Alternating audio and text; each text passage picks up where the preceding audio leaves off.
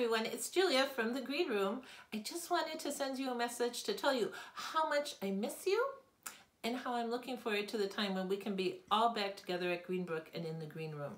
I hope you're enjoying your time with your families. It's a little quiet around our house, but I wanted to let you know that right now you're in the guest room of my house and we have a very special guest here. Look who's here.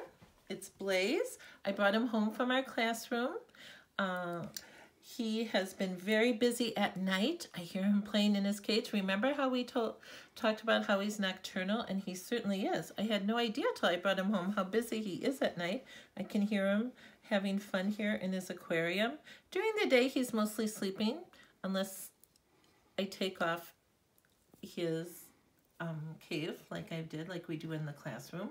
I've been giving him some water and some crickets. I brought home the cricket house and also the cricket food, so he has all his supplies, but I know that he misses you too, and that he's waiting until the time that we can all be back together. Um, I don't know if you can get a little close-up of Blaze here. I think he misses hearing your voices, as do I.